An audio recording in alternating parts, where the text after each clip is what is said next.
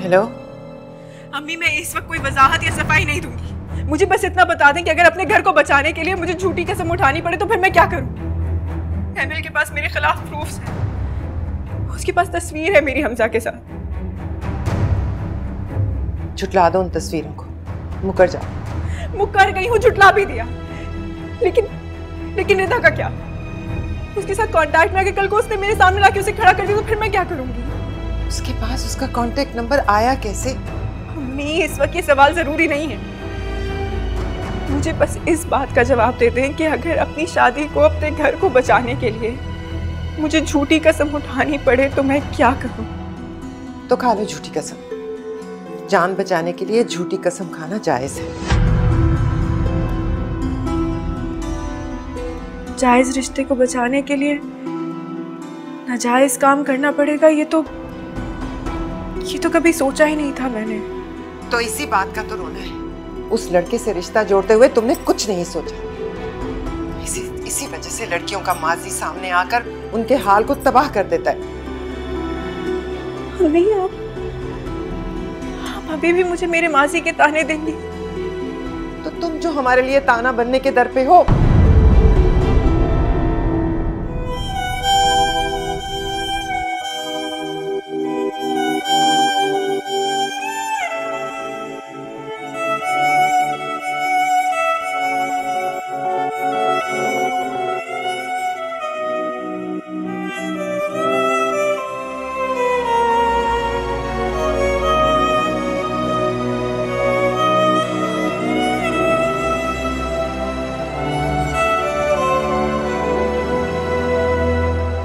उसे सौ दफ़ा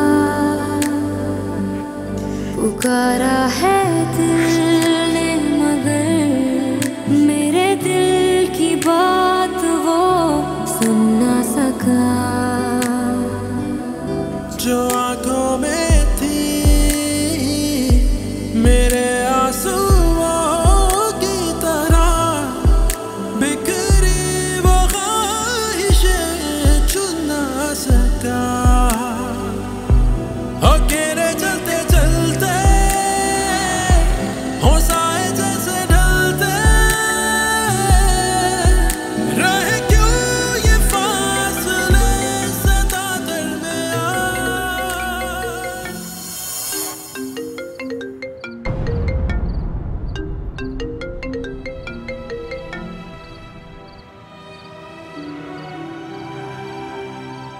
जी माँ।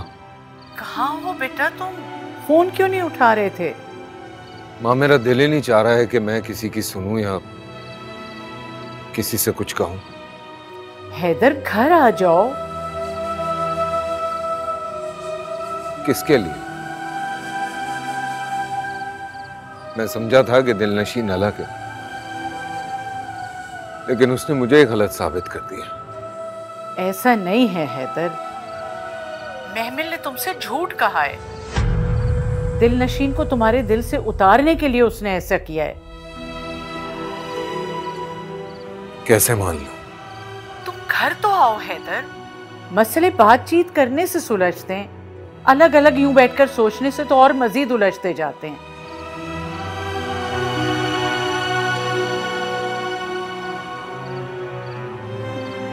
आता हूँ। जल्दी आओ।